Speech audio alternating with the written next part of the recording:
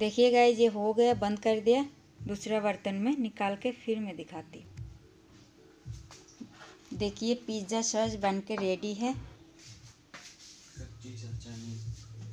Hello guys welcome back to my channel Deepa kitchen में सबका स्वागत है। गाइज़ आज फिर आ गए आप लोग के साथ एक रेसिपी शेयर करने और आज मैं बनाऊँगी पिज़्ज़ा सॉस। तो चलिए देख लीजिए पिज़्ज़ा सॉस मैं कैसे बनाती हूँ। तो देखिए गाइज़ मैं आ गई चूल्हे के पास और यहाँ पे टमाटर लिया हूँ, एक किलो करीब। एक हाँ एक किलो एक किलो से ज़्यादा ही हो सकते हैं। और टमाटर का मुँह को मैं इस टाइप का काट लिया, क्योंकि उबालने के बाद इसका छिलका आसानी से हट जाएगी। और इसमें डालूँगी मैं लहसुन।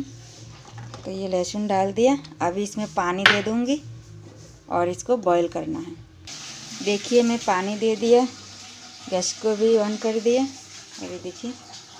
अभी इसको बॉईल करना है, जब तक ये नरम नहीं होता है, तब तक।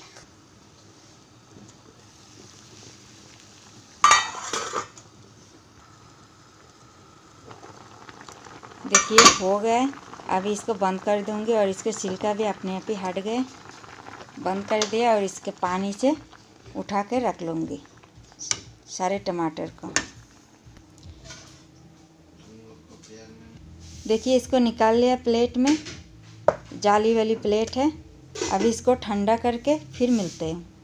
ये सारे टमाटर का छिलका हटा के मिक्सर जार में ले लिया और इसको अभी पेस्ट बना लूँगी। देखिए इसका पेस्ट बनाए ये कढ़ाई ले लिए और ऐसे एक छन्नी लिया हूँ बड़ा, इसमें छान के फिर मैं इसको पकाऊँगी।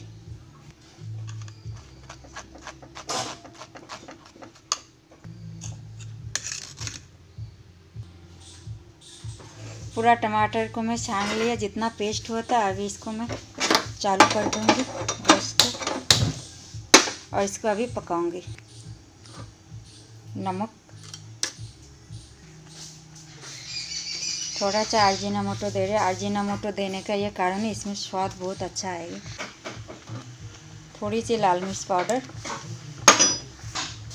और इतना बटर दे रहे हैं।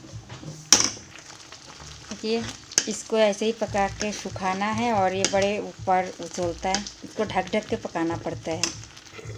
इसको ऐसे ही चलाना पड़ते हैं, नहीं तो नीचे लग सकता है और ये खुलने में ही बाहर निकाल आते हैं।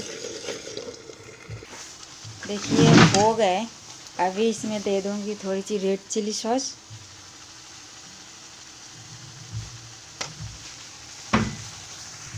और थोड़ी सी दे दूँगी। टमाटर, चिली सॉस।